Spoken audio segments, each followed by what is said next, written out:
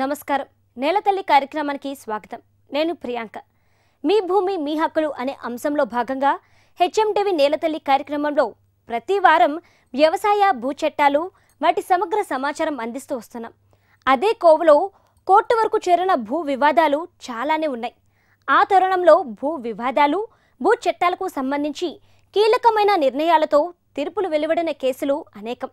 అదే క్రమంలో రెండు వేల పంతొమ్మిది సంవత్సరంలో భూ వివాదాలకు సంబంధించి తెలుగు రాష్ట్రాల హైకోర్టులు సుప్రీంకోర్టు ఇచ్చిన తీర్పులలోని కీలక అంశాలపై భూచట్ట న్యాయ నిపుణులు సునీల్ కుమార్ విశ్లేషణ ఇవాల్టి నేలతల్లి కార్యక్రమంలో మీకోసం.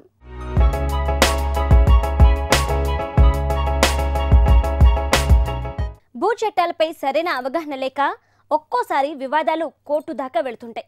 అందులో వ్యవసాయ భూముల వివాదాల సంఖ్య ఎక్కువ. వ్యవసాయ భూముల నేపథ్యంలో ఆర్ఓఆర్ ఎసెండ్ భూములలో తలెత్తిన వివాదాలకు తెలుగు రాష్ట్రాల హైకోర్టులు తీర్పులిస్తూ పలు కీలక అంశాలను సూచించింది. రెండు వేల పంతొమ్మిది సంవత్సరంలో ఇచ్చిన కీలక తీర్పుల వివరాలు భూచట్ట న్యాయ నిపుణులు సునీల్ కుమార్ మాటల్లో తెలుసుకుందాం. ఆర్ఓఆర్ చట్టం మీద వచ్చిన ఒక తీర్పు గౌరవ హైకోర్టు ఇచ్చిన తీర్పు ఇది. ఇందులో ప్రధానమైన అంశం ఏంటంటే వన్ బి రికార్డుల్లో మార్పు చేర్పులు చేయకుండానే పాస్ పుస్తకం టైటిల్ లీడ్ లేదా పాస్బుక్ కమ్ టైటిల్ లీడ్. రెండు పుస్తకాలు రెండు కల్పిస్తున్న ఒక పుస్తకము జారీ చేస్తే ఆ పాస్ పుస్తకాలో తప్పులున్నా లేదా పాస్ పుస్తకమే తప్పుగా జారీ చేస్తే దాని మీద ఆర్డీఓకి అప్పీల్కి వెళ్ళడానికి అవకాశం ఉందా లేదా అనేదే ఒక కీలక అంశం. పలు తీర్పులలో కూడా ఇది చర్చకు వచ్చింది. దీని మీద రెండు మూడు తీర్పుల సారాంశాన్ని నేను ఇప్పుడు మాట్లాడుతున్నా. అప్పీల్ చేయొచ్చా? అంటే ఆరు ఆరు చట్టం కింద జారీ చేసిన పాస్ పుస్తకాలు టైటిల్ లీడుల్లో తప్పులున్నా లేదా పుస్తకాలే తప్పుగా ఇతర వ్యక్తులకు జారీ చేసిన వాటి మీద మనం ఆర్డీఓ దగ్గర అప్పీల్ వేసుకోవచ్చా? జాయింట్ కలెక్టర్ దగ్గర రివిజన్కి వెళ్ళడానికి అవకాశం ఉంటుందా? అనేది సాంశం. దీని మీద హైకోర్టు విస్తృతంగా చర్చించి ఒక మాట ఏం చెప్పారంటే పాస్ పుస్తకాలకి విడిగా ఏ చట్టబద్ధత లేదు. ఎందుకంటే పాస్ పుస్తకం టైటిల్ లీడ్ ఏదైతే ఉంటుందో అది రెవెన్యూ రికార్డ్ వన్ బి ఏదైతే ఉంటుందో ఆర్ఓఆర్ రికార్డ్ ఏదైతే ఉంటుందో వన్ బి కావచ్చు ధరణిలో ఉండే వివరాలు కావచ్చు ఆ రికార్డ్ యొక్క నకలు మాత్రమే ఎక్స్ట్రాక్ట్ మాత్రమే విడిగా దీనికి చట్టబద్ధత లేదు. దీన్ని అర్థం చేసుకోవాలనుకుంటే మనం ఒక ఎగ్జాంపుల్ మాట్లాడుకుంటే ఇది మనకు దీని యొక్క లింక్ అర్థమవుతుంది. అంటే వన్ బీకి పాస్ పుస్తకానికి టైటిల్ లింక్ అర్థం కావడం కోసం మీకు ఉదాహరణ చెప్తాను. మీకు ఒక బ్యాంక్ అకౌంట్ ఉంది లేదా మీరు ఒక బ్యాంక్లో వెళ్ళి ఒక అకౌంట్ ఓపెన్ చేస్తారు. ఓ పదివేల రూపాయలు మీ అకౌంట్లో జమ చేశారు డిపాజిట్ చేశారు. బ్యాంక్ వాడు మీకు ఒక పాస్ పుస్తకం ఇచ్చాడు బ్యాంక్ పాస్బుక్ ఒక ఏటీఎం కార్డు ఇస్తాడు పుస్తకం ఇప్పుడు పుస్తకంతో పాటు అందరికి ఏటీఎం కార్డు ఉంటుంది. ఈ పదివేల రూపాయలు మీరు డిపాజిట్ చేసినట్టుగా పాస్ పుస్తకంలో నమోదు చేశాడు. ఆ పాస్ పుస్తకం ఏటీఎం కార్డు తెచ్చుకొని వస్తారు. ఇంకా తర్వాత మీరు బ్యాంకు వెళ్ళలేదు ఆ పదివేలలో ఒక ఐదు వేల రూపాయలు మీరు ఏటీఎంల ద్వారా పలు సందర్భాలలో విత్డ్రా చేసుకున్నారు. కానీ పాస్ పుస్తకాన్ని అప్డేట్ చేయించాల. ఎందుకంటే మన ఊరికే పాస్ పుస్తకాన్ని అప్డేట్ చేసే అవసరం మనకు రాదు కాబట్టి దాన్ని జనరల్గా చాలామంది చేయించుకోం దాన్ని. ఇప్పుడు మీరు పాస్ పుస్తకం తీసుకొని బ్యాంకుకి వెళ్ళి ఒక విత్డ్రాల్ స్లిప్ రాసి పాస్ పుస్తకంలో పదివేలు ఉన్నాయి కాబట్టి నా పదివేలు నాకు విత్డ్రా చేసుకోవడానికి అవకాశం ఉంది. పదివేలు విత్డ్రా చేస్తూ స్లిప్ కనుక మీరు బ్యాంకుకి ఇస్తే బ్యాంకు వాళ్ళు మీకు పదివేలు ఇస్తారా? పుస్తకంలో పదివేలు ఉంది కాబట్టి ఇవ్వరు.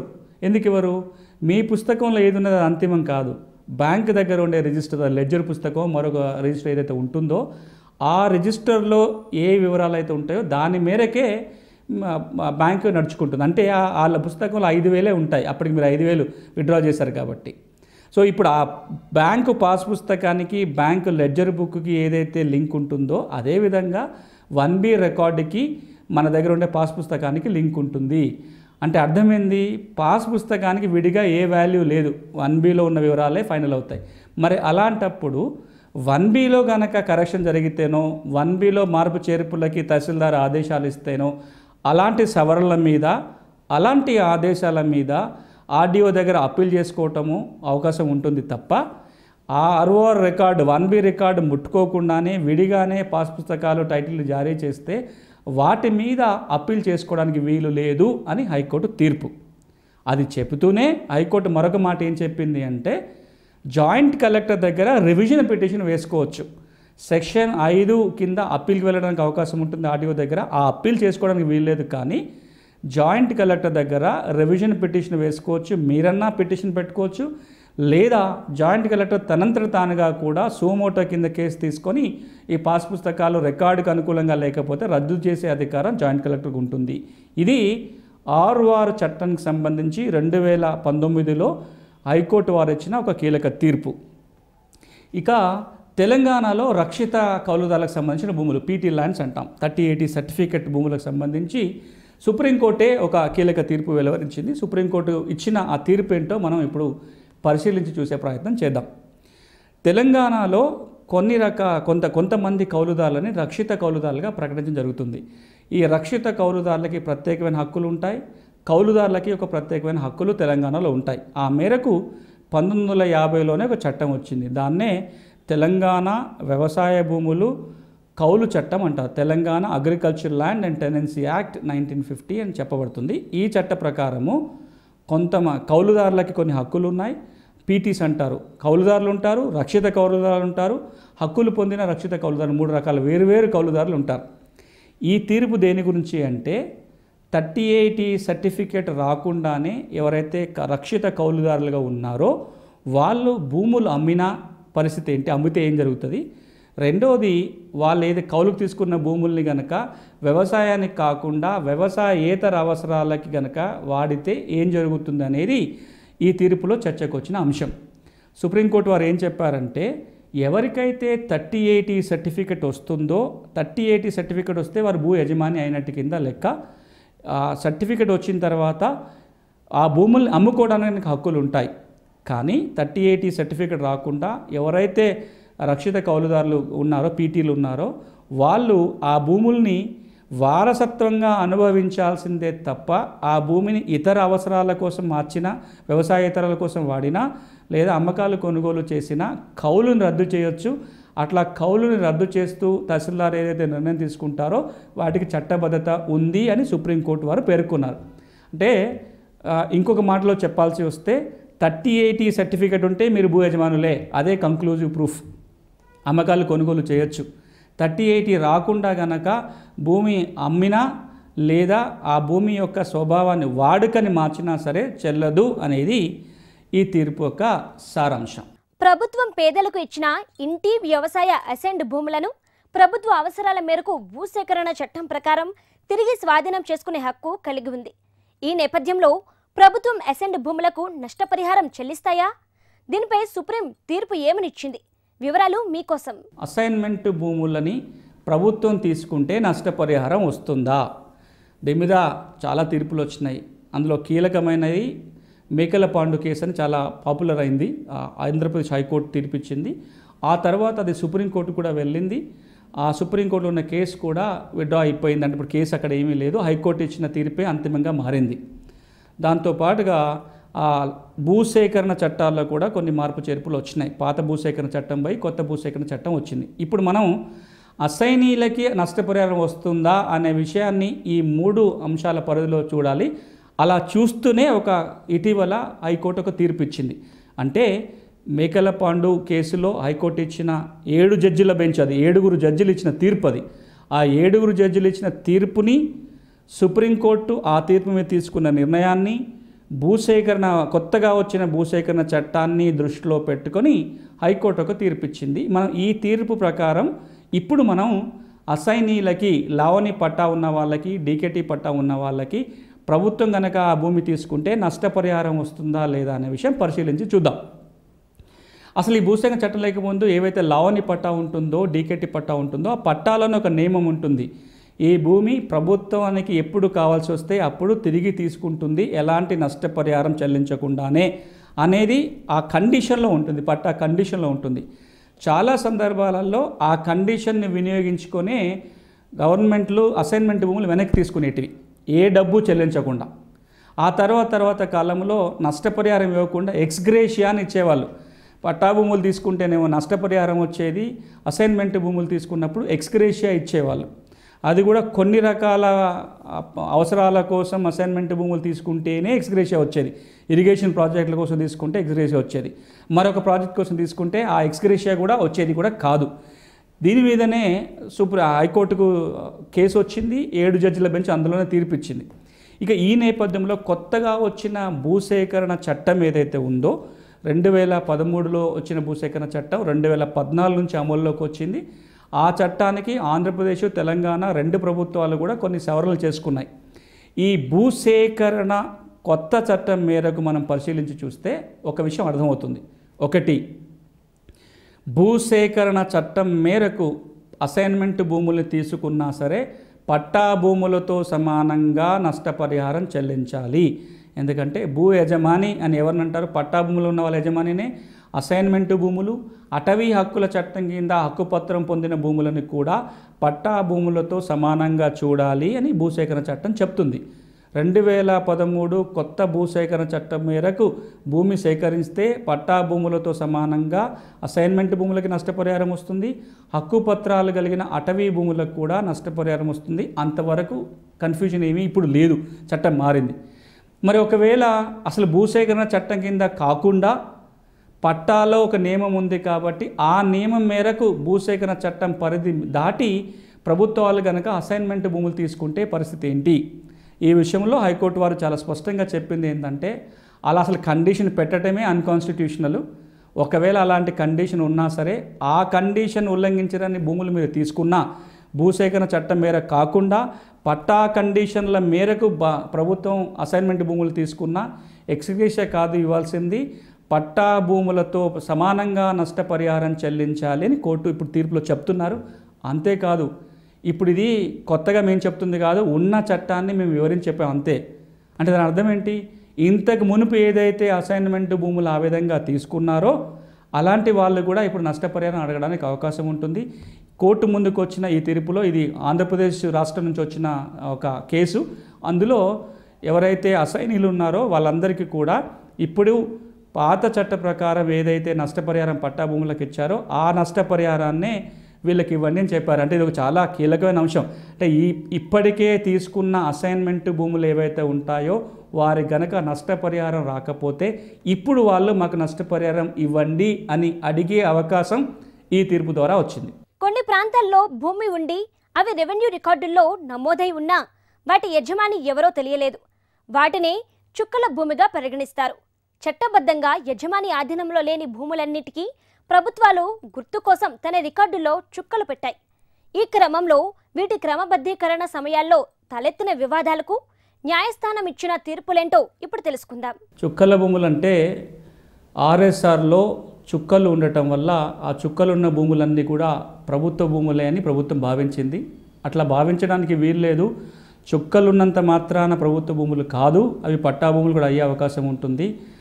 చుక్కలు ఉన్నంత మాత్రాన ప్రభుత్వ భూములుగా భావించకూడదు అని హైకోర్టు తీర్పు ఇచ్చిన నేపథ్యంలో ఈ చుక్కల భూముల సమస్యని పరిష్కారం చేయటం కోసం ఆంధ్రప్రదేశ్ ప్రభుత్వం ఒక చట్టాన్ని తీసుకొచ్చింది. చుక్కల భూములు ఆర్ఎస్ఆర్లో అప్డేషన్ చట్టం పేరుతోటి చుక్కల భూముల చట్టం అంటారు దాన్ని. Daughter lines and updation in RSR act పేరుతోటి ఒక చట్టాన్ని చేసింది. ఈ చట్టం మేరకు నాలుగు రకాల చుక్కల భూములు ఉంటాయి. ఆ నాలుగు రకాల భూముల క్రమబద్ధీకరణకి మార్గం చూపించింది. ఒకటి ఆర్ఎస్ఆర్లో చుక్కలు ఉండి ఆ భూమిని ఎవరికన్నా అసైన్ చేసి ఉన్నట్లయితే ప్రభుత్వం. ఆ అసైనీ పేరులో రికార్డులు మారాలి. ఏలినేషన్ చేసిన భూములు ఉన్నాయి. అంటే కొన్ని కంపెనీలకు ఇతర డిపార్ట్మెంట్లకు ఇచ్చిన భూములు ఉన్నాయి. కొన్ని ఇప్పటికీ ప్రభుత్వం ఆధీనంలో భూములు ఉన్నాయి. ఈ మూడు రకాల భూములకు సంబంధించి తహసీల్దారే దరఖాస్తు పెట్టుకొని ఆ భూములన్నీ రికార్డులు అప్డేషన్ చేసే ప్రయత్నం చేయాలి. ఇక నాలుగోది కీలకమైన కేటగిరీ ఆర్ఎస్ఆర్లో చుక్కలుండి ఇప్పుడు పట్టాగా భావిస్తున్న భూములు. కొన్ని రిజిస్ట్రేషన్లు జరిగిపోయినాయి ఉన్నాయి. కొన్ని చోట్ల వన్ బీలకు ఎక్కినాయి పాస్ పుస్తకాలు టైటిల్ వచ్చిన భూములు ఉన్నాయి. ఇవన్నీ కూడా ఒక పక్కన చుక్కలు ఉన్నాయి కాబట్టి నిషేధిత భూముల జాబితాలో చేరిపోయినాయి. ఈ విధంగా పట్టా భూములుగా అనుకుంటున్న వాళ్ళందరికీ కూడా ఇబ్బందులు వచ్చినాయి కాబట్టి అలా చుక్కలు ఉన్న వాళ్ళందరూ కూడా పట్టా భూములని భావించినట్లయితే తహసీల్దార్కి దరఖాస్తు పెట్టుకోవాలి. ఆ దరఖాస్తు పెట్టుకోవడానికి మీ సేవ ద్వారా కూడా చేయడానికి అవకాశం కల్పించారు. ఆర్ఎస్ఆర్లో చుక్కలు ఉన్నట్లయితే దరఖాస్తు చేయాలి. దరఖాస్తుతో పాటుగా ఆ భూమి పట్టా భూమి అని చెప్పడానికి ఆధారాలు. దాని కొంత లిస్ట్ ఇవ్వటం జరిగింది. ఆ వన్ బి రికార్డులో ఉన్నట్లయితే వన్ బి రికార్డులో ఉన్నంత మాత్రమే రికార్డులో అప్డేట్ చేయడానికి అవకాశం ఉంటుంది. వన్ బి నకలు కావచ్చు పాస్ పుస్తకం టైటిల్ నకలు కావచ్చు సేల్ లీడ్ల నకలు కావచ్చు. ఈ విధంగా వారి అనుభవంలో గత పన్నెండు సంవత్సరాలుగా ఇది పట్టాభూమిగా ఉంది అనే ఆధారాలు కనుక చూపించగలిగితే క్రమబద్ధీకరణ చేయడానికి అవకాశం ఉంది. ఆ చట్టానికి కొన్ని కీలక సవరణలు చేసి ఏమన్నారు? వన్ బి రికార్డులో ఉన్నా సరిపోతుంది ఇంకేం చూడాల్సిన పని లేదు. అది చుక్కలు ఉండి వన్ బిలో పేరు ఉంటే కనుక క్రమబద్ధీకరణ చేయాలి. పన్నెండు సంవత్సరాల ఆధీనంలో ఉంటే సరిపోతుంది. అలాగే సేల్ డీడ్ చూపించినా సరిపోతుంది. ఇట్లా కొన్ని మార్పులు చేశారు. ఆ క్రమబద్ధీకరణ చేసే అధికారం డిస్ట్రిక్ట్ లెవెల్ కమిటీకి ఉండేది. కలెక్టరు ఆర్డీఓ తహసీల్దార్ మెంబర్లుగా ఉండే కమిటీ చేసేది. ఆ క- అధికారాన్ని కాస్త చట్టాన్ని సవరించి ఆర్డీఓ స్థాయిలోనే కమిటీ పెట్టారు. ఇప్పుడు ఆర్డీఓ స్థాయిలో ఉన్న కమిటీ చుక్కల భూముల రెగ్యులైజేషన్ చేస్తారు. ఒకసారి ఈ కమిటీ నిర్ణయం తీసుకొని ఇది పట్టా భూమిని నిర్ధారణ చేస్తూ ఆర్డర్ కనుక పాస్ చేస్తే ఆర్ఎస్ఆర్లో చుక్కలు తీసి పట్టదారు పేరు రాస్తారు. ఇతర రెవెన్యూ రికార్డులో కూడా దాన్ని పట్టాభూమిగా మారుస్తారు. అంతేకాకుండా కీలకంగా నిషేధిత భూముల జాబితాని సవరించడం జరుగుతుంది. ఏదైతే భూములని రిజిస్ట్రేషన్ చేయకూడదు అని జాబితాలు పంపారో రిజిస్ట్రేషన్ చట్టం సెక్షన్ ఇరవై రెండు ఏ కింద అందులో నుంచి క్రమబద్ధీకరణ జరిగిన నంబర్ని తీసివేయటం జరుగుతుంది. ఇది చుక్కల భూముల చట్టం. ఇప్పుడు ఈ నేపథ్యంలో ఇక్కడ కోర్టు తీర్పు దేనికి సంబంధించింది అంటే ఈ విధంగా చుక్కల భూముల క్రమబద్ధీకరణ చేస్తూ ఆదేశాలు జారీ చేసింది. సంబంధిత కమిటీ అధికారి ఎవరైతే ఉంటారో ఇది చుక్కల భూమి పట్టా భూమి అని చెప్పి ఒక ఆదేశాన్ని ఇచ్చారు. కానీ నిషేధిత జాబితాల నుంచి తొలగించలేదు. ఇది హైకోర్టు దాకా వచ్చింది. హైకోర్టు ఈ కేసులో ఏం చెప్పారంటే ఒక్కసారి చుక్కల భూముల క్రమబద్ధీకరణ జరిగిపోతే ఆర్డర్ ఇచ్చిన నెలలోగా చట్ట ప్రకారమే నిషేధిత జాబితాలు తొలగించాలి. అలాంటి బాధ్యత అధికారుల మీదే ఉంటుంది. అలా తొలగించాల్సిందే అని తీర్పు. ఇది హైకోర్టు వారు చుక్కల భూముల కోసం ఇచ్చిన తీర్పు. ఇప్పుడు మనం ఇంకొక తీర్పు గురించి మాట్లాడుకుంటున్నాం. అది ఎంక్రోచ్మెంట్ జరిగితే ప్రభుత్వ భూముల ఎంక్రోచ్మెంట్ జరిగితే ఎట్లాంటి యాక్షన్ తీసుకోవడానికి ఉంటుంది? ఒకవేళ అది పట్టా భూమిగా ఉండి ఉండి ప్రభుత్వం అది ప్రభుత్వ భూమి అంటే ఎలాంటి చర్యలు తీసుకోవచ్చు అనే దానిపైన ఈ తీర్పు. ఏదైనా ప్రభుత్వ భూమిని కనుక ఎవరన్నా ఆక్రమణ చేసినట్లయితే ఎంక్రోచ్మెంట్ కనుక జరిగినట్లయితే ల్యాండ్ ఎంక్రోచ్మెంట్ చట్టం కింద భూ ఆక్రమణ చట్టం కింద తహసీల్దారే నోటీస్ ఇచ్చి ఒక సమ్మరీ ప్రొసీజర్ ద్వారా భూమిని ఆక్రమించుకున్న వ్యక్తుల్ని వ్యక్తిని లేదా ఎవరైనా ఇతర ఇతర సంస్థలు ఉంటే వాటిని తొలగించడానికి చట్టం అవకాశం ఇస్తుంది. అది ప్రభుత్వ భూమి అయి ఉంటే. ఒకవేళ అది ప్రభుత్వ భూమి అనే నిర్ధారణ లేకపోతే కనుక ఈ ల్యాండ్ ఎంక్రోచ్మెంట్ కింద సమ్మరీ ఎవిక్షన్ చేయడానికి వీలు లేదు అనేది ఈ తీర్పు యొక్క సారాంశం. అంటే అది మనం ప్రైవేట్ భూమిగా భావిస్తుంటాం. ప్రభుత్వం కనుక అది ప్రభుత్వ భూమి అని చెప్తున్నట్లయితే అది ప్రైవేట్ భూమా ప్రభుత్వ భూమా అనే వివాదం కనుక ఉంటే ఈ విధంగా భూసే భూ ఆక్రమణ చట్టం కింద సమ్మరీ ప్రొసీజర్ ద్వారా ఎవిక్షన్ చేయకూడదు. అది ఆ నిర్ధారణ జరిగిన తర్వాతనే ఈ విధంగా చేయాలి. అంటే ఏంటి? మామూలు వ్యక్తిలాగా సివిల్ కోర్టుకు వెళ్ళి అది ప్రభుత్వ భూమి నిర్ధారణ జరిగితేనే సమరీ ప్రొసీజర్ అవుతుంది తప్ప అది ప్రభుత్వ భూమి కానప్పుడు లేదా వివాదంలో ఉన్నప్పుడు ఈ విధంగా సమ్మరీ ప్రొసీజర్ చేయకూడదు అని హైకోర్టు పేర్కొంది. ఒకవైపు త్వరలో కేంద్ర ప్రభుత్వం స్వామిత్వ పేరిట భూ సర్వే చేపట్టనుంది. మరోవైపు ఏపీ ప్రభుత్వం సమగ్ర భూ సర్వేకు కసరత్తులు మొదలుపెట్టింది. తెలంగాణలో కొత్త భూ చట్టం ప్రకారం వ్యవసాయ భూముల క్రయ విక్రయాలకు ధరణి వెబ్సైట్ని అంతిమ రికార్డుగా పరిగణలోకి తీసుకోనుంది. ఈ నేపథ్యంలో రైతులు తీసుకోవాల్సిన జాగ్రత్తలేంటి? హక్కుల నిరూపణకు మార్గాలేమున్నాయి? నిపుణులు సునీల్ కుమార్ మాటల్లో తెలుసుకుందాం. భూ పరిపాలనలో భూ చట్టాలలో వస్తున్న ఒక మార్పు చేర్పుల వలన రైతాంగం కూడా కొన్ని జాగ్రత్తలు తీసుకోవాల్సి ఉంటుంది. వాటిని గురించి చర్చించుకునే ప్రయత్నం చేద్దాం. తెలంగాణలో అయితే కొత్త రెవెన్యూ చట్టం పేరుతోటి ఒక ఆర్ఓఆర్ చట్టం వచ్చింది. దాంతో పాటుగా వ్యవసాయ భూముల్ని వ్యవసాయేతర భూముల్ని కూడా రికార్డుకి ఎక్కించే ప్రయత్నం జరుగుతుంది. వ్యవసాయ భూములతో పాటు వ్యవసాయేతర భూములకు కూడా పాస్ పుస్తకాలు ఇచ్చే కార్యక్రమం ఇక్కడ ప్రారంభమైంది. మరో పక్కన ఎల్ఆర్ఎస్ పథకం వచ్చింది. ల్యాండ్ లేఅవుట్ రెగ్యులేషన్ స్కీమ్ పేరుతోటి అనాథరైజ్డ్ అన్అప్రూవ్డ్ లేఅవుట్లని క్రమబద్ధీకరణ చేసే ఒక పథకం వచ్చింది. సదాభైనామా క్రమబద్ధీకరణ చేసుకోవడం కోసం మరొకసారి అవకాశం కల్పించారు. అంతేకాదు ఇతర రెవెన్యూ చట్టాల్లో కూడా మార్పు చేర్పులు చేస్తామని తెలంగాణ ప్రభుత్వం చెప్తుంది. సర్వే కూడా చేపడతామంటున్నారు. ఇది తెలంగాణలో జరుగుతున్న కార్యక్రమం. ఆంధ్రప్రదేశ్ విషయానికి వచ్చినట్లయితే జనవరి ఒకటి ఇరవై ఇరవై ఒకటి సంవత్సరం నుంచి అంటే రాబోయే జనవరి మొదటి తారీఖు నుంచి సమగ్ర భూముల సర్వే చేపట్టడం కోసం కసరత్తు ప్రారంభమైంది. శిక్షణలు నడుస్తున్నాయి ప్రిపరేషన్స్ నడుస్తున్నాయి.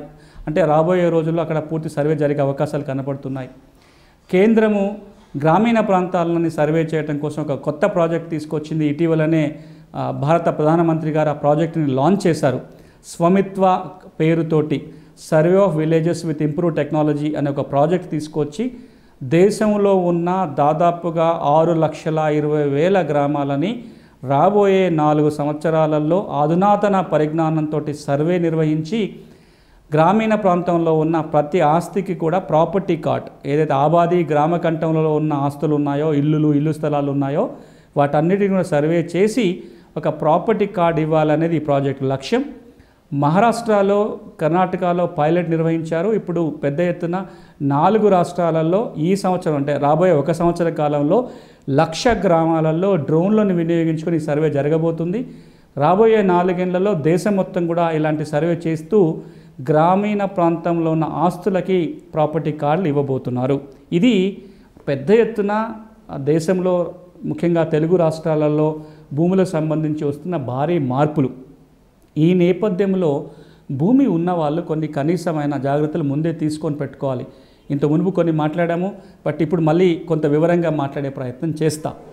ఒకటి మీకు గనక భూమి ఉంటే వ్యవసాయ భూమి అయినా వ్యవసాయేతర భూమి అయినా ఒక్కసారైనా మీ కాగితాలు పరిశీలించుకుని చూసుకోండి భూమి హక్కుల పరీక్ష చేసుకోండి. అంటే ఆ భూమికి సంబంధించిన కాగితాలు సరిగ్గా ఉన్నాయా లేదా రికార్డులు ఏముంది అనే పరిశీలన మీరు ముందే చేసుకున్నట్లయితే ఇది ఒక సంధికాలం. ఇప్పుడే ఆ రికార్డుల మార్పులు చేర్పులు చేయించుకోవడానికి అవకాశం ఉంటుంది. ఆంధ్రప్రదేశ్లో అయితే సర్వే జరిగినప్పుడు మార్పులు చేర్పులు చేసుకోవచ్చు.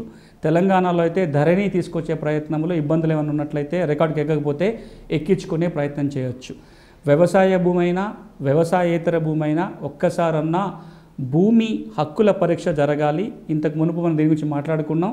రాబోయే వారం కూడా చాలా వివరంగా భూమి హక్కుల పరీక్ష ఎలా చేసుకోవాలో మళ్ళీ మాట్లాడుకుందాం. కానీ ఇది మీరు గుర్తుపెట్టుకోండి భూమి ఉన్నవాళ్ళు భూమి హక్కుల పరీక్ష చేసుకోవాలి. రెండు తెలంగాణలో మీకు భూమి ఉంటే వ్యవసాయ భూమి అయినా వ్యవసాయేతర భూమి అయినా ధరణిలో మీ రికార్డ్ ఎక్కిందా లేదా చూసుకోండి.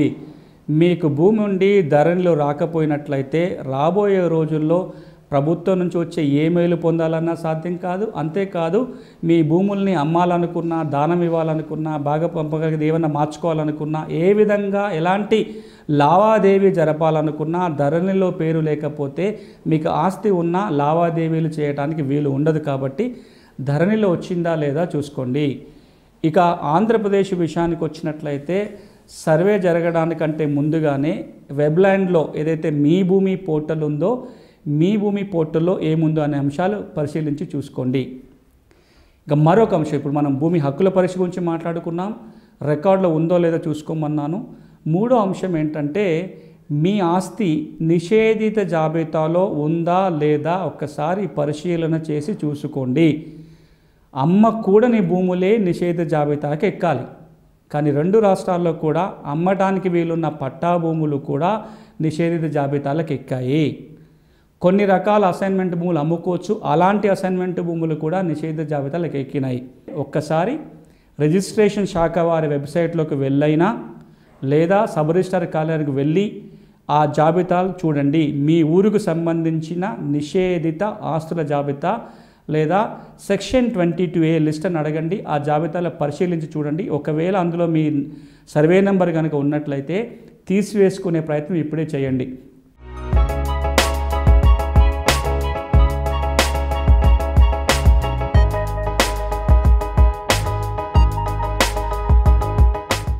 చట్టాలు సమస్యల పరిష్కారం గురించి అలాగే రైతులకు ఉపయోగపడే మరింత సమాచారం కోసం మా హెచ్ఎం టీవీ అగ్రి యూట్యూబ్ ఛానల్ని సబ్స్క్రైబ్ చేసుకోండి. ఇది ఇవాళ నేలతల్లి కార్యక్రమం. నమస్తే.